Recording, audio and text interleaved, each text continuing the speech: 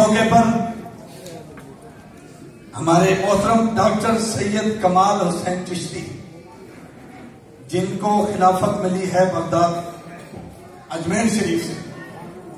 انہوں نے خود بھی پچاس سال سے ان کی منہاج القرآن اور شیخ الاسلام سے وابست کی۔ اور آج ممبرشپ بھی لی ہے اور اپنے تمام مریدین، وابستگان، ان سب کو حکم جاری کیا ہے کہ وہ بھی ناج القرآن کی ممبرشپ لیں۔